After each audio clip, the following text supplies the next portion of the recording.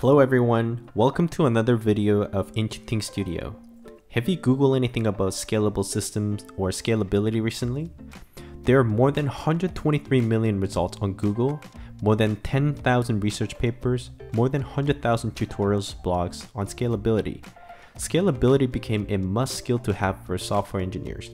You must know what and how to build a scalable system if you want to work at big companies such as Amazon, Google, Uber, you name it. They work with a massive volume of data, so anything they build must be scalable. So, what is scalability? By definition, scalability is the term we use to describe a system's ability to cope with increased load. There can be many different types of loads for a given system, so it doesn't really make sense to attach a one-dimensional label and say something like, oh, this system is scalable. Rather, we should add a bit more context and say, this system is scalable up to 100 millions of requests per second, or this system is scalable up to 10,000 concurrent users. There are two things you need to describe before assessing the scalability aspect of a system. First, you need to describe what types of load you're dealing with. Secondly, you need to describe which performance of your system we need to monitor with respect to the load. Let's start with describing the load for your system. Load can be described with a few numbers which we call load parameters, and these parameters heavily depend on your system architecture. If you're building a system or an application similar to Twitter, you'll be interested in how many requests or queries your system gets per second. Or you might be interested in number of reads versus number of writes operation, which tells you the ratio between number of people posting tweets versus number of people viewing the home timeline. Another example is video streaming application like Netflix, their main service is to provide video streams to users, so they're interested in how the performance changes as the number of active video stream connection increases. If you want to build an application like Messenger or WhatsApp, you might be interested in how the performance changes respect to the number of simultaneous users in a chat room. Here's a quick question for you. If you're given an interview question to build a ticket reservation system, what would be your load parameter? Once you have chosen your load parameter, you need to choose which performance metrics to look at in order to monitor how your system copes with increasing load. Once again, the appropriate metric largely depends on your system architecture. Let's go through some example using the previous analogy. If you're dealing with a system like Twitter or WhatsApp, you'll be interested in the response time of the users.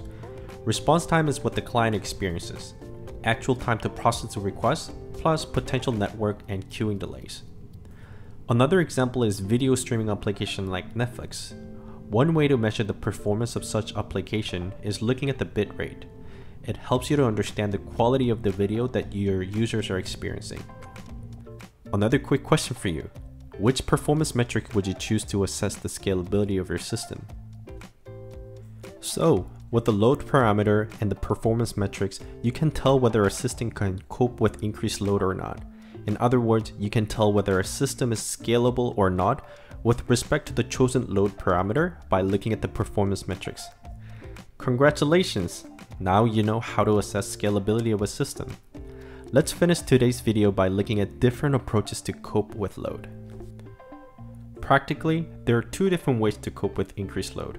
First, increase the resources. Second, redesign or re-architect the system. One thing to note is that there's no such thing as generic one-size-fits-all scalable architecture. There's no magic scaling sauce. And a system that is appropriate for one level of load is unlikely to cope with 10 times of that load. Regarding the resources, you can either vertically or horizontally scale your system. Vertically scaling means replacing with higher end machines. This can become very expensive, also, there's a limit to the extent of scaling you can do on a single machine. On the other hand, horizontally scaling means distributing the load across multiple smaller machines. This might increase complexity of your system if it's not already built around shared nothing architecture. The trend here is to horizontally scale your system, but it comes with complexity. Increasing resources alone might not be enough to cope with the increased load. In that case, you might have to redesign your system. Note that designing a scalable system is specific to individual applications. There's no magic scaling sauce or formula. Let's look at what Twitter has done in 2012. Initially, they had a system where they store all tweets in a large database and served relevant tweets to users' home feeds by pulling the data directly from the database. As the number of tweets and followers grew significantly over time, their overall response was increasing and they had to consider redesigning their system. They redesigned their system with a fan out approach. When a user posts a tweet, the system looks up all the people who follow that user and inserts the new tweet into each user timeline caches. This significantly reduced the lookup time. Also, this approach only made sense to them because the read operations were two times bigger than the number of write operation. Final note, an architecture that scales well for a particular application is built around assumptions of which operation will be common and which will be rare. I hope you understand what a scalable system means now. Similar to reliability, this is not an easy concept to grasp at once. Either rewatch this video or find more videos on scalability to prepare for your interview. If you have any questions, feel free to comment below. Thanks for watching this video. Cheers.